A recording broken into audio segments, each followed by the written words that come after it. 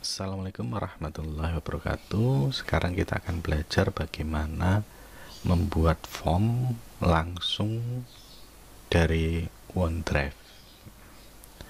Baik, langsung saja kita menuju ke portal Office 365 Kemudian silahkan Bapak Ibu memilih OneDrive.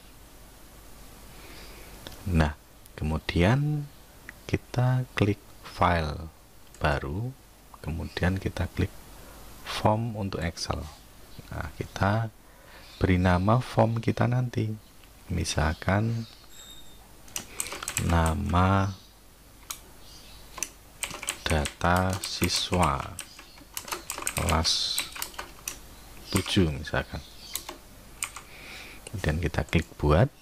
Nah, ini otomatis akan menuju ke Microsoft Formulir.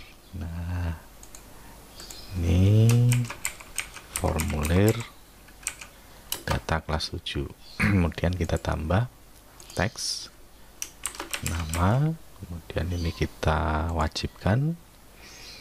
Kemudian kita klik lagi teks lagi.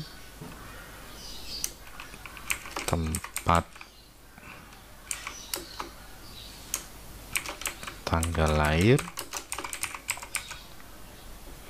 Kemudian kita tambah lagi. Nama ya.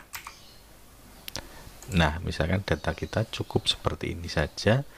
Kemudian sekarang kita tinggal share-nya. Nah seperti ini. Jadi untuk membuat Microsoft Form yang memiliki data langsung ke OneDrive kita caranya adalah membuat form dari OneDrive terlebih dahulu. Kalau kita membuat dari sini menggunakan new form data ini tidak akan terhubung langsung dengan OneDrive demikian tips OneDrive semoga bermanfaat. Wassalamualaikum warahmatullahi wabarakatuh